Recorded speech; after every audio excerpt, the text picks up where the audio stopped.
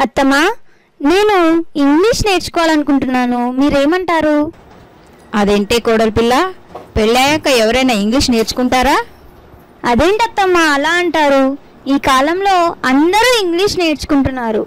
అది సరే గాని కోడలి పిల్ల ఇప్పుడు ఇంగ్లీష్ నేర్చుకోవాలంటే వేలకు వేలు ఫీజులు అవుతాయి. అది మన వల్ల అవుతుందా? అయ్యో అత్తమ్మ అసలు ఏది ఖర్చే ఉండదు అత్తమ్మా ఒక్క రోజుకు ఒక్క రూపాయి మాత్రమే. ఒక్క రూపాయికి ఇంగ్లీషా? అదేలా కోడలి పిల్ల?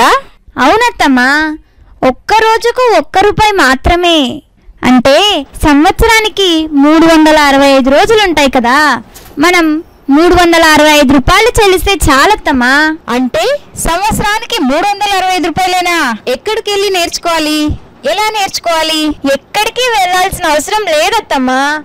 మన మొబైల్ ఫోన్లోనే ప్లే స్టోర్లో రాము స్పోకెన్ ఇంగ్లీష్ యాప్ను డౌన్లోడ్ చేసుకుని ఇన్స్టాల్ చేసుకుంటే చాలత్తమ్మా.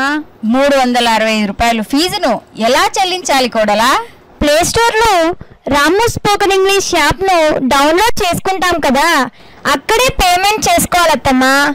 ఈ యాప్లో ఏమేం నేర్చుకోగలం కోడలి పిల్ల?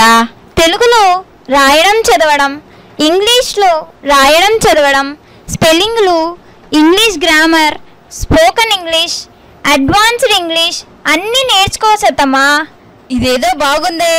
అయితే నేను కూడా నీతో పాటు ఇంగ్లీష్ నేర్చుకుంటా కోడలా.